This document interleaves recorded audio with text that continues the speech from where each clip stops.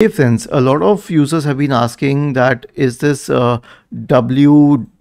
utility account in Windows genuine or should you delete it? So, uh, I mean, more than 100,000 users have searched it on the Microsoft Answers forum. Maybe more than a million have this query. So here's the thing. If you scroll down, here's the answer. The specified account is a part of the Windows Defender application guard which came with the fall creators update and this was old but this was for Windows 10. With Windows 11 it came with later updates and it is still present on your system. So this is a genuine part of Windows. Now read the next paragraph.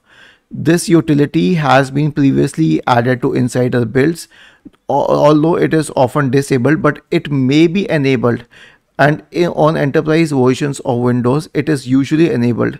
So this is integrated into the operating system and it is not a threat or uh, virus or malware. So you can safely assume that this is safe. Obviously a lot of cyber criminals try to disguise uh, genuine uh, software products as uh, what do we say virus and malware if they do it then you'll obviously have to run an occasional antivirus scan but if you ask about the file itself then the file and the file name are genuine.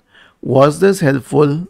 If yes, then please subscribe to the channel and if not, then let us know in the comment section of the video on how we could help you further.